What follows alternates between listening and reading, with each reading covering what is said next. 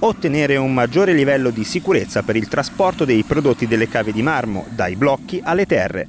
È questo quello che hanno chiesto a gran voce i trasportatori del distretto marmifero riuniti a Carrara in località Tarnone. I problemi che manifestiamo da anni sono quelli di una viabilità e di una mancanza di cura della, delle strade, quindi praticamente c'è ha nessuno che, che ci prende in considerazione. Nella strada che percorriamo è una strada a senso unico, piena di buche, diciamo poco anche sicura e tutto questo porta a uno stress sia dei mezzi che del personale. Balestre davanti e di dietro, le vedi le paraboliche spaccate, traverso sotto il cassone dove tiene i ponti, che è pericoloso che ci ripartiamo, la marmita cotta con l'acqua, tre centraline che ce l'ho in officina e più ci sono i danni con la strada perché i bilancieri li rompi dentro i buchi. Ne ho avuti anche quattro in un mese. Riuniti sotto le associazioni di categoria Assotir, CNA, Trasporto Merci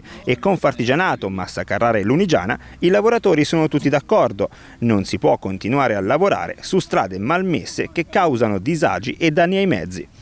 Tra le buche, le frasche e il lavaggio alla pesa, i trasportatori lamentano danni stimati in circa 30.000 euro all'anno per ogni singolo mezzo. Sono anni che abbiamo questi problemi, abbiamo parlato più volte con il Comune per chiedere un tavolo di confronto, tante volte ci fanno tante promesse ma poi l'unica cosa che rimangono sono i vigili che ci fanno le multe giustamente uh, fuori dalle gallerie.